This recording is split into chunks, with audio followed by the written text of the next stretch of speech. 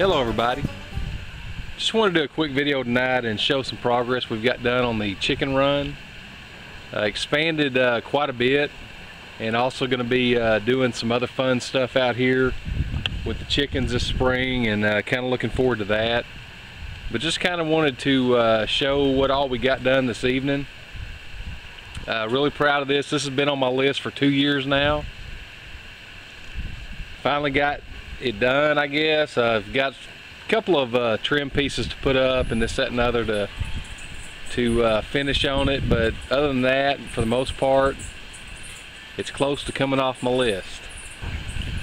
As far as materials go, with the uh, chicken run, the actual framing of it's made out of 2x4 treated lumber. The chicken wire we got at a garage sale. Here, uh, I guess it's been a year, year and a half ago, Gina picked up uh, a pretty good sized roll of this stuff and uh, it has done a lot of projects around here.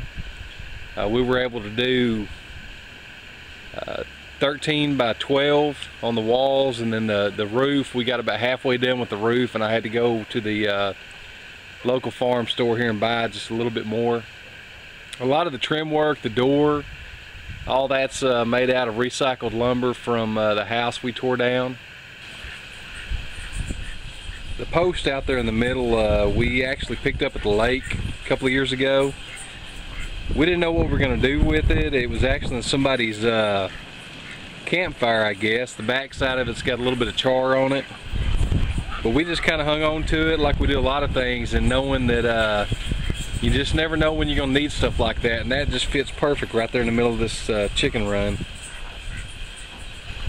The girls don't know what to think about their new uh, hangout out here but they've been uh, coming out and doing a lot of digging around and scratching around having a good time. What they don't know yet is daddy ordered them a lot of friends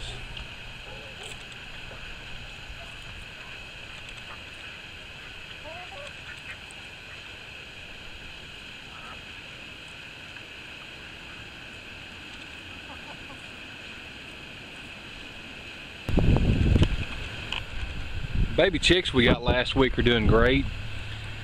Uh, growing like weeds. Uh, they're exactly, I guess, a week and one day old now. And probably in about a week or so, we'll kind of see what the weather's going to be like. We're going to kind of portion off a section of this uh, chicken run and kind of create them a shelter to start acclimating them to their new surroundings. Uh, anyways, guys, I hope you enjoyed the video. Uh, looking forward to the progress we make. Uh, like I said earlier, this uh, project's been on my list for a couple of years now, and I'm sure glad to have it done. Uh, I had to get this done before I started on my greenhouse. Anyways, guys, you have a great day, and we'll see y'all later.